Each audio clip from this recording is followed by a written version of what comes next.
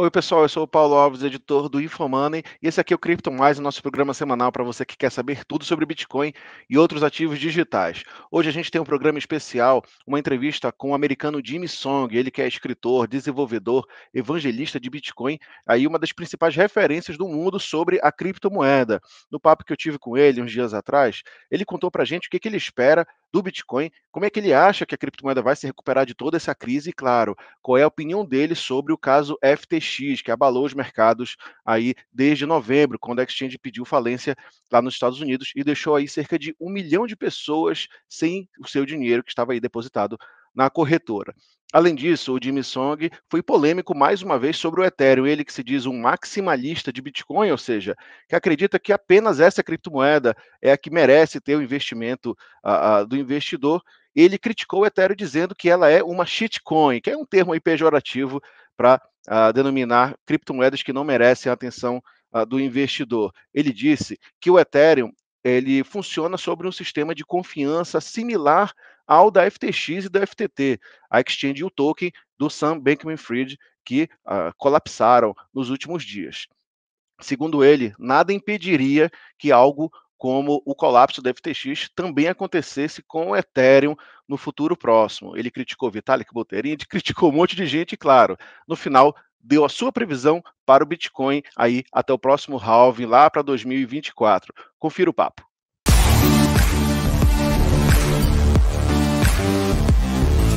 Então, pessoal, hoje a gente tem aqui a ilustre presença do Jimmy Song, que é desenvolvedor e evangelista de Bitcoin, empreendedor e autor de quatro livros sobre a criptomoeda. So, hi, Jimmy. Thanks so much for joining us today. Uh, so, you've experienced so many bear markets before, right? So, how do you categorize the one you saw in 2022? Would you say it was the worst you've seen so far? No, not at all. No, the worst was like 2011 when it fell something like 96%. Um, you know, this one is what, like, uh, I think on the order of 78%, 80%, somewhere in there. It's actually the mildest in terms of percentage decline that we've had uh, in Bitcoin. So it, it's it's not it's not that bad. Um, and that's uh, you know the the perception is that it's always sort of like the worst right now. Uh, kind of like with every election, people say it's the most important election of our lifetime. It's it's never really like that it's you know it, people just have a recency bias and that's that's why Sure. So we had so far three major uh, uh, crypto crises this year, right? So first Luna, then Three Arrows, and more recently FTX. So I guess I would like to to know what's your take on this all FTX case. I mean, it's uh, it's fiat money gone crazy, right? Like uh, you you had a lot of people that didn't know anything about this industry just sort of investing in FTX sort of out of FOMO. Um, and you know, we expect that from retail investors, but to see it from um, you know, sort of VCs and hedge funds and things like that, especially you know, people you know, very venerated VCs like Sequoia, it, it was it was a little bit shocking in that regard. But uh, you know, we we've seen this all play out before. Um, you know when you whenever you have a lot of money that's looking to invest in things you get you get ridiculousness like this um, you know vcs always complain about how there's so few things to invest in uh, it's it's because of the insane amount of money printing that's been happening um, you know we're, we're getting tightening right now which is kind of what exposed the bank bankruptcy um, if there was quantitative easing that continued, then uh, I don't. I, I, think FTX could have gone on for another two years or so. But because we're getting quantitative tightening and just sort of, you know, there there's less money supply available. Um, you're you're getting to see who's swimming naked, um, and you know I expect to see more before it's done. You know, there's a lot of companies in trouble at the moment, and I I think uh, I think that's a good thing. You you need to you know, uh, clear out all of the fraud and scams before like another bull market can happen. So, you know, that that that's kind of where we are right now. So you do see this spreading to other companies. What what more of those are on the way? Did you see more of those companies, those kind of uh, bankrupt things going in the way? Yeah, I mean, uh, you're you're hearing weird things about Genesis and DCG and even Coinbase. You know, they're they're the you know weird sort of rumors going around all of these and it's not a surprise because they uh, most of these companies just spent way too much money during the bull market you know um, uh, i mean to take coinbase as an example i think uh, after their most recent round of layoff they layoffs they still have 5000 employees and these are all people you know headquartered in san francisco. This is not a you know th- those employees aren't cheap. So you know roughly two hundred thousand dollars a person that ends up being like a billion dollars a year just in you know uh, labor that they have to pay out. Um, last i saw they had like six billion dollars on their balance sheet. A couple of things don't go their way you know they they're gonna have to cut way more. So you know, uh, th- this is what happens when you have the excesses of uh, boom market. Is that people overhire? They, um, you know, think the party's going to go on forever, and it doesn't. And you know, uh, there's a cleansing that needs to happen. A lot of really dumb money came into the space, uh, into really dumb companies, and those dumb companies need to go away before you can have new companies that are built up and so on. Um, and you know we don't have bailouts in Bitcoin, so um, yeah, that's a that's a good thing. Uh, a lot of these companies that deserve to get wrecked are getting wrecked. So yeah, that's that's what I'm expecting. So you, you had some strong words to say uh, to Vitalik Buterin recently in Argentina, right, about Ethereum, called Ethereum a shitcoin. Uh, can, can you explain to us the reasoning behind it? Yeah, it's it's really very simple. Uh, Ethereum is centralized, and uh, you know because of the centralization, you need to trust the people that are in charge. And uh, you know the great Nick Szabo said a while back that trusted third parties are security holes, and that's what I was pointing out during that panel. Is that Vitalik himself is a trusted third party for anyone that holds Ethereum. Um, you know, we uh, a lot of the lesson in stuff like FTX is you need to hold your own keys. But on the Ethereum network, even if you do hold your own keys, you still are in many ways trusting in Vitalik uh, to do right by you. Um, he can uh, screw you over if he wants to, and if you doubt that, like go look up what the DAO hack was in 2016 and what happened there. So, I mean, um, you know if you have centralization, if you're forced to trust somebody, it's not really self-sovereign money. And uh, you know, Bitcoin's the only one that's actually self-sovereign, where you can uh, you're you don't have third-party risks uh, like FTX or Vitalik or you know whoever. Um, and that that's what I was pointing out. If if you need to trust somebody else, you know, other than yourself, then then that's it's not the money's not really yours, is it? Yeah, but uh, would you say that something uh, like we saw with FTX could eventually mm-hmm. uh, uh, happen with Ethereum? Is that what you're saying? Well, so think about FTX, right? They had their own token, FTT, and uh, you know, even if you held your own keys on FTT, you still lost a tremendous amount of money because, in a sense, you you were exposed to uh, risk uh, through a trusted third party, Sam Bankman-Fried. Um, it didn't matter if you held the coins on FTX or held that FTT token. It's it's still the same sort of trust model that you have to have. Uh, and what I'm pointing out with Ethereum is that you know they might not be an exchange, but you still have this counterparty risk that uh, you know that's endemic. And it, this is very like this should be very familiar to all of the viewers of uh, uh of your channel the you know if, if you live in Latin America, you you know exactly what kind of risk that is. If you if you hold the Argentinian peso, you're essentially trusting the Argentinian central bank. If you hold the Brazilian real, you're trusting the Brazilian central bank. And there's a reason why a lot of people in different countries would rather hold the US dollar. In a sense, they're trusting the Federal Reserve more than their own central bank.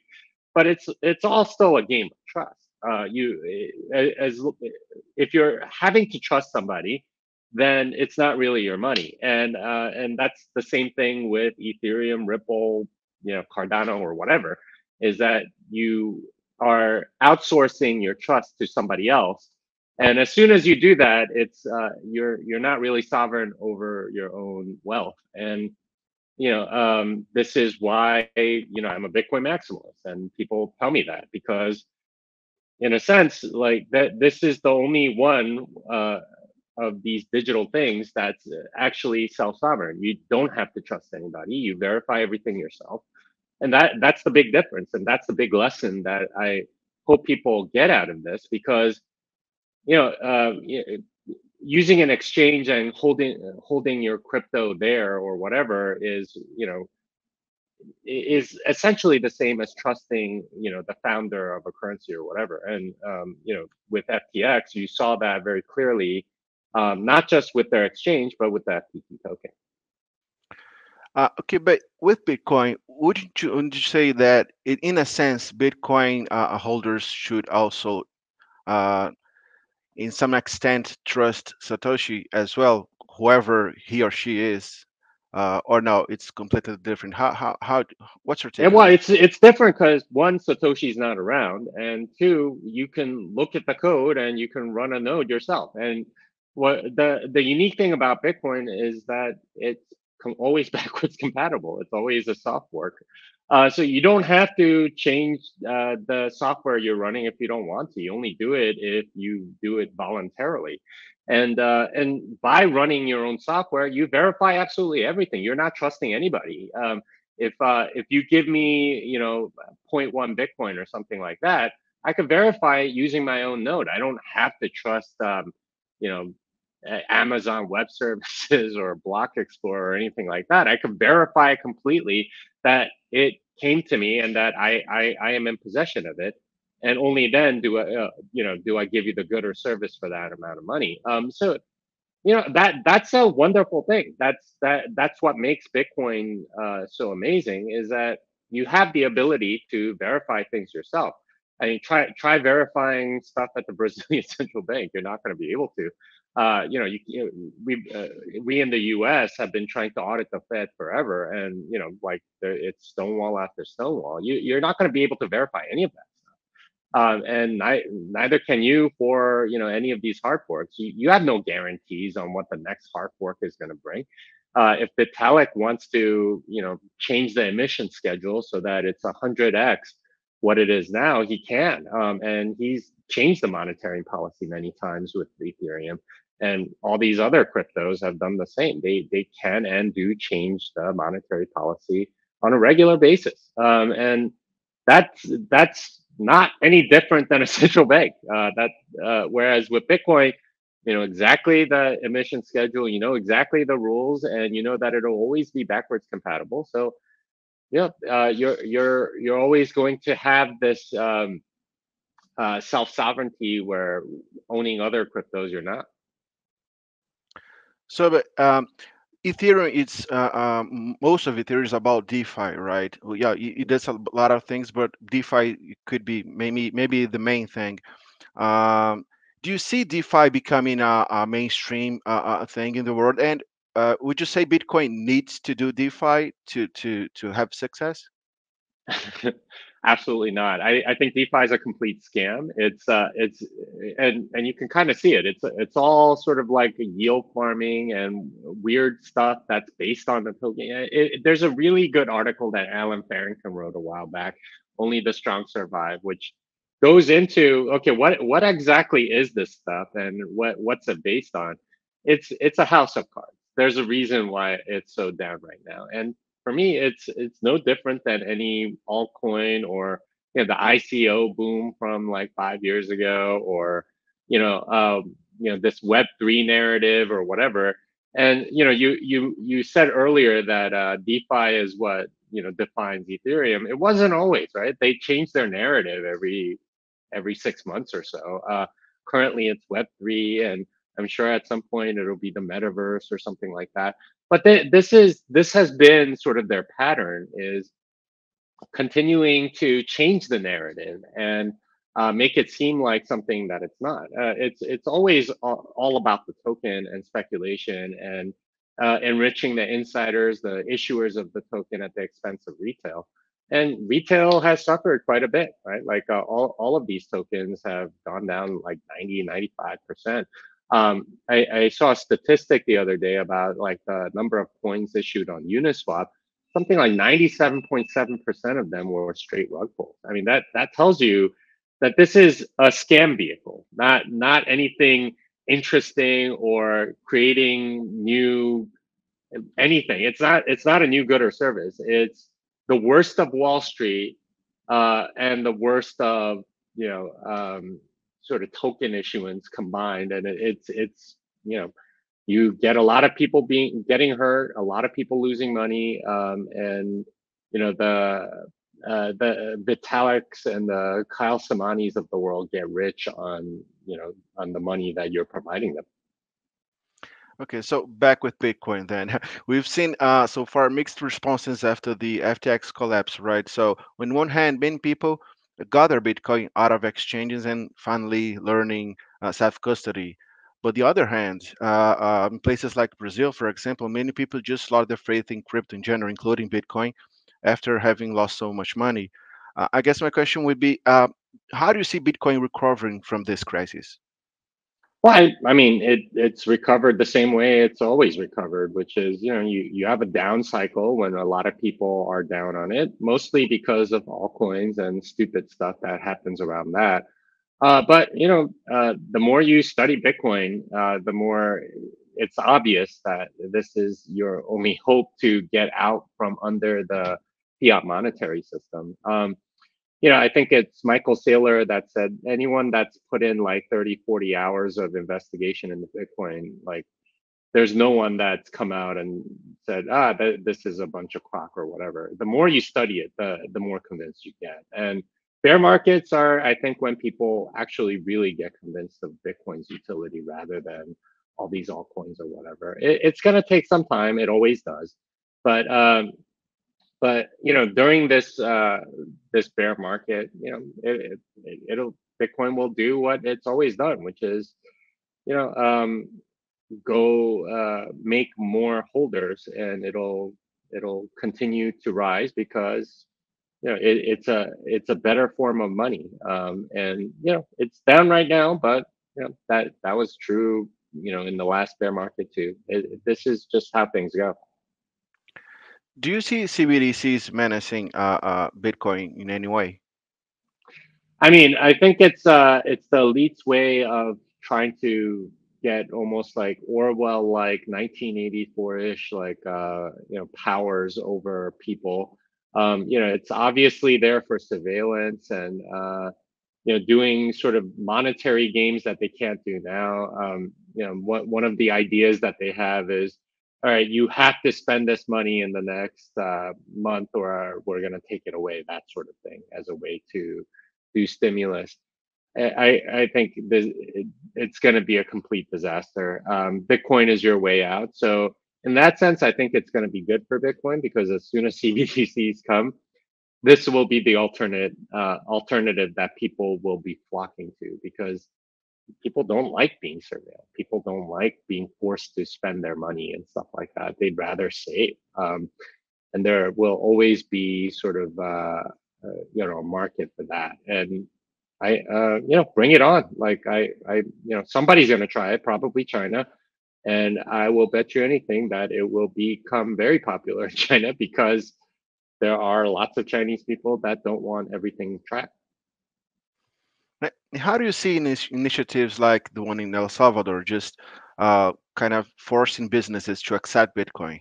Do you, don't you think it's a bit, uh, uh, you know, uh, there's a controversy there uh, regarding Bitcoin's, you know, uh, um, sense of of being freed well, I this is sort of like the narrative against El Salvador that everyone gives is, oh, this is a legal tender. I mean, remember, this is something that every government has done everywhere, right? In in Brazil, if you don't take the real, then you are breaking the law. If you're forcing people to pay in some other currency, that's a legal tender. This is something that every country in the world does. Um, and in El Salvador, they had the dollar as their legal tender, as because they they don't have their own central bank. And um, you know, you can either take legal tender status away from the dollar or to raise Bitcoin to that. So this was a way to sort of even it out. I I I, honestly think it's uh it's sort of like um uh you know journalists and people sort of like putting FUD into El Salvador I I mean, honestly, like every country has legal tender laws. And it's uh, you know, if, if you're going to complain about uh, Bitcoin being legal tender in El Salvador, like show me where you were complaining about legal tender laws in every other country in the world before this this thing. Uh, otherwise, you're you're just sort of like spouting FUD and saying, oh, you know, uh, this shouldn't be. Yeah, in an ideal world, it shouldn't be. But first, uh, show me your work. Show me that you you're against legal tender laws in the first place on everything else, uh, because you know that that that's clearly the case everywhere else. It it, it just smacks of uh, sort of like opportunistic FUD uh, from the opponents of Bitcoin or the opponents of El Salvador to me, and yeah, I, I find that like horribly disingenuous.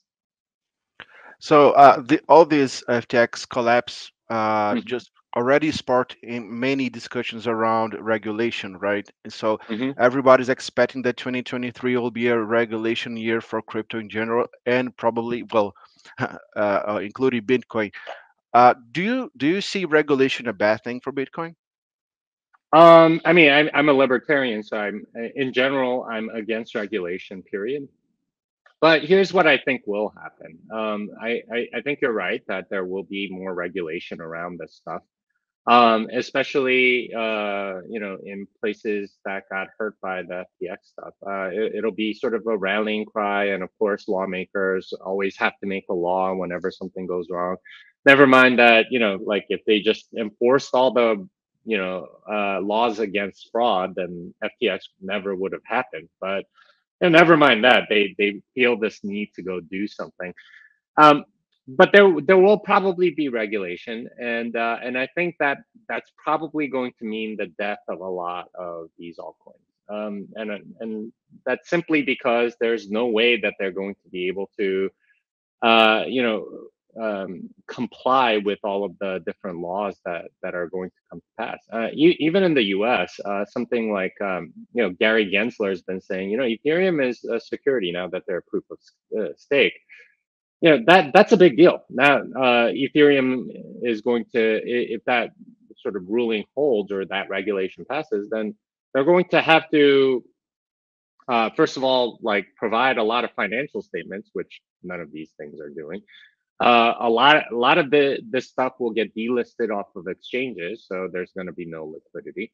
A lot of this stuff, um, you know, they'll, they'll just be in violation. They'll, uh, you know, probably get seized, stuff like that. So a lot of this stuff is going to die. Now, uh, Bitcoin, I don't think will be regulated away because there's uh, going to be a market for it because it is decentralized it's not going to be as simple as you know going and asking Vitalik to do X, Y, or Z like you can with Ethereum.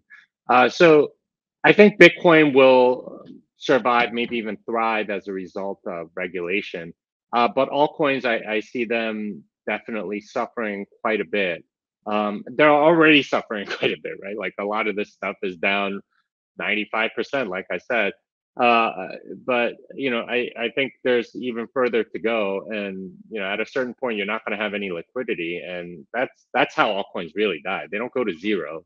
It's just there's nowhere to trade it, and uh, and you know, if you doubt me, go look up what happened to something like Bitcoin Private or you know Bitcoin Interest or something like that. There's no liquidity because you can't trade it anywhere, and that's that's what happens to coins and uh, you know, if there's regulation, then exchanges are going to have to delist a lot of this stuff. Okay, so we've seen in the past the price of Bitcoin just going up prior to the halving, right? So, mm-hmm. but I don't think it ever experienced such a challenging macro scenario. So there's less money around. Do you still see this uh, four-year uh, Bitcoin cycle intact?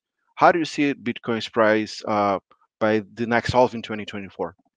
Well, usually the uh, the bull market starts with the halving and then it continues over like the next year or so. But At least that's been the pattern. Uh, now, is, is is the halving stuff going to matter? Um, I mean, I think it does uh, because you're you're going to get a supply shock. Um, but there's always two sides to any price, which is supply and demand. Um, we know what the supply is going to be. We know the schedule and everything else, but the demand side's the part that's really hard to predict. And that's kind of what you're alluding to, which is that from a macroeconomic perspective, is there going to be enough demand for Bitcoin?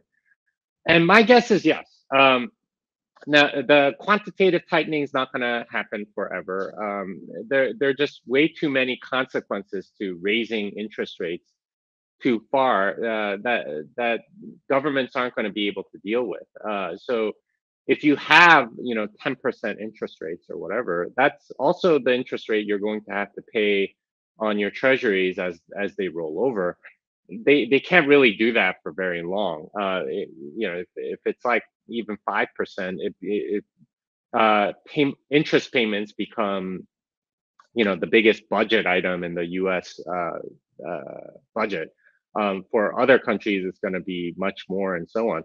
So uh, I, I don't think uh, quantitative tightening is going to last. And second, uh, as you alluded to before, uh, CBDCs are, I think, going to create demand for Bitcoin uh, because people are not going to like surveillance and they're not going to like being forced to spend and so on. So they're going to go to something that's actually, you know, uh, a good store of value. So um, for both those reasons, um, you know, and you know, given the supply shock that uh, that is that part is certain, that that I think will you know uh, spur some uh, some something of a bull market.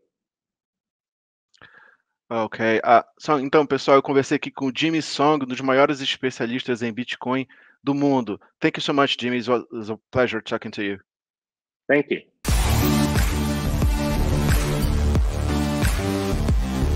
Então, pessoal, esse foi o nosso papo com Jimmy Song, um dos maiores especialistas em Bitcoin do mundo. Deixa, por favor, aqui nos comentários o que você achou das falas do Jimmy Song sobre o Ethereum, sobre a FTX e, claro, sobre o Bitcoin. Você concorda com ele de que a criptomoeda vai finalmente se recuperar nos próximos meses e vai deixar para trás todas essas crises de 2022? Deixe sua opinião aqui embaixo que a gente quer saber. E claro, espera a gente que na próxima segunda-feira tem outro criptomático, uma entrevista muito interessante com o pessoal da AgroToken, que é uma empresa que está transformando commodities em criptomoedas e deixando você, por exemplo, abastecer o carro com uma saca de soja. Que estranho isso, né? Mas eu espero que você goste. A gente vai trazer uma entrevista especial com eles na próxima segunda. Eu espero todo mundo lá. Até mais.